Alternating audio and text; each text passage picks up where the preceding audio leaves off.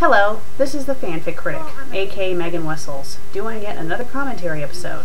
Today I'm taking a look at an early episode that I did, which would be episode 3 of Fanfic Critic, known as AVGN vs. Nostalgia Critic Slash. Now, at the time when I made this episode and put it on MySpace originally, I was not aware of Sage's review of this lovely fanfic. Sage is a member of ThatGuyWithGlasses.com, and he has this little, I'm not sure if it's really a fanfic critic show, it's called Masterpiece Theater, where he reads the best of the worst fanfics. So he, I think he just reads bad fanfics and that's it. So I'm not really sure if it's the same thing, but I think his premiere episode was reading this fanfic out loud. I checked out the episode after I aired this one. It's like, oops, should have done my research, but oh well. So, yeah. This fanfic is about the angry video game nerd and the nostalgia critic, who are two famous internet personalities. Um, at the time I filmed this, keyword filmed, they were having a conflict with each other. Not a real conflict, they're friends in real life, but they were having their internet personalities have a conflict. And this fanfic was, was depicting what if they had a special trace. Yeah. When you hear the word slash, you know where this fanfic is going to go. Now, one of my main problems with this fanfic, it's about two real people who are not gay and who have either wives or girlfriends in real life. I think the Angry Video Game Nerd is actually married. I think. Not quite sure, but I know that they aren't gay. And I just don't like when people write fanfics about real people. That's just my thing. I don't like it. Maybe I'm wrong to say it, but that's just how I am. And if you guys try to say that the Angry Video Game Nerd and Nostalgia Critic are not real people, they are. That'd be like saying that I'm not a real person. I may be the fanfic critic, but I am a real person. I talk to you guys on YouTube when you leave comments. And as far as I can tell, fictional characters do not talk to their viewers. So the fanfic starts off with the angry video game nerd. He wants the nostalgia critic to like him.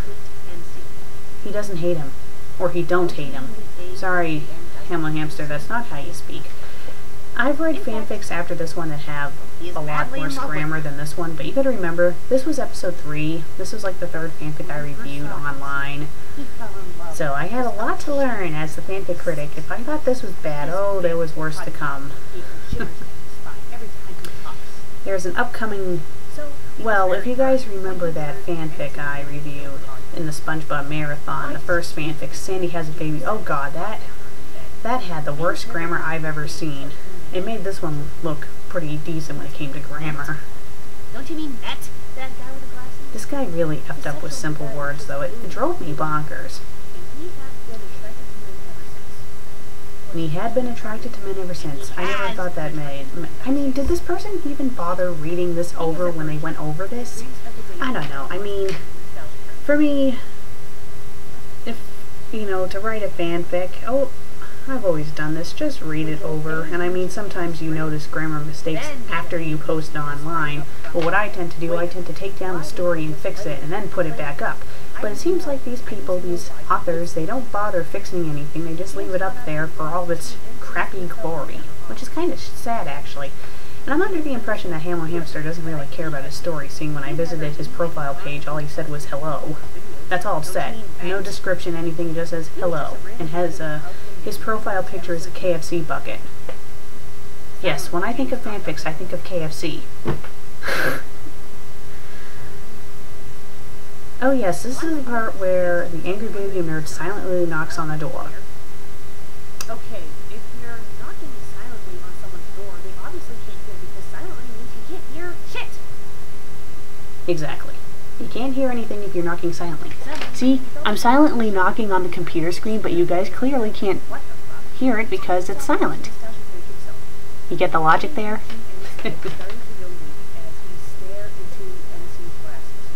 yeah, reading this out loud, I felt like I was losing brain cells by the minute.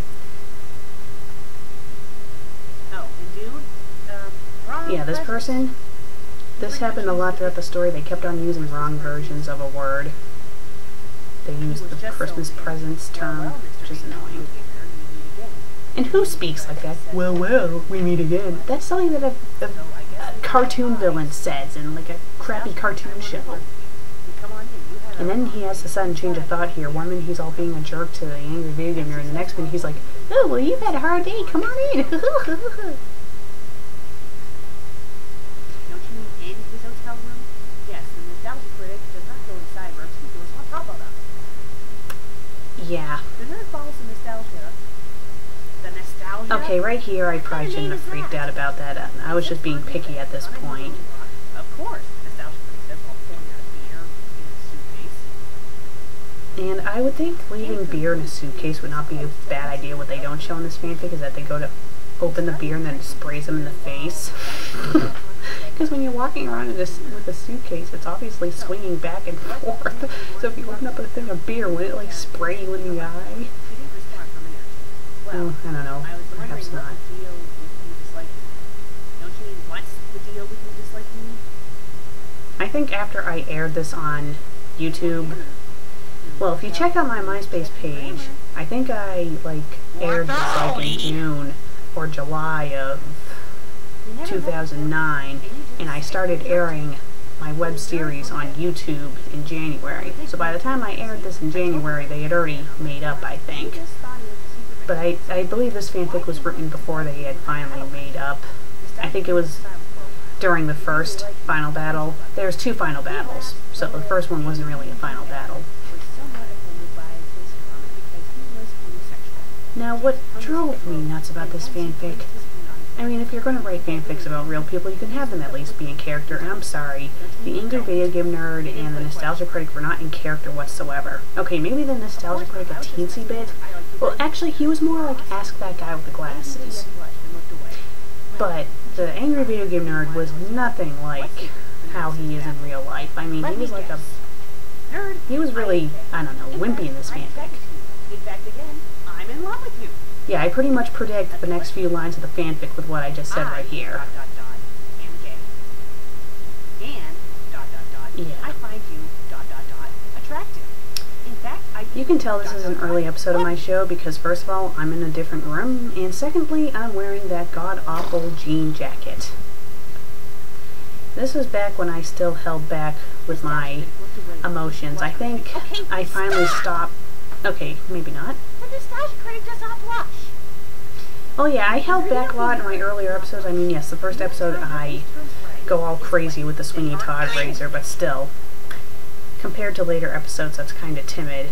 I think I started to go all out, like episode 8, the When I read it, SpongeBob Marathon, that's when I finally lost it. he met his love, and his love loves him too. Well, of course, Really? I don't think it ever really works like that, though. Most of the time when you, like, have a crush on someone, most of the time they don't return the feelings for you. Fighting around to break. Don't ask why I did that. You guys watching this, you're probably like, what the fuck? The unbelievability of this.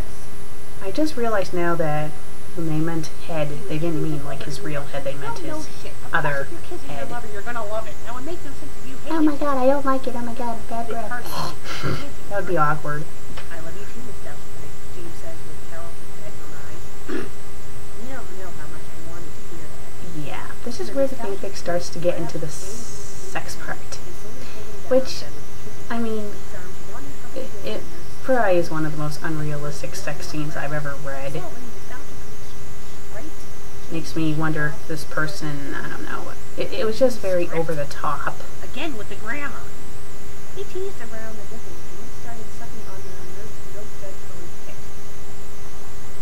Yeah. You just said The imagery in my mind as this is being read out loud. I feel bad for you guys. Don't stop. At least you didn't have to read it out loud. Be grateful for that. critic started to pull off James' pants and was shocked to find Okay, right here, after I do the heh heh heh thing, I forgot to read an entire sentence from the story. Sorry, it was just, I got caught up with this thing when I'm laughing.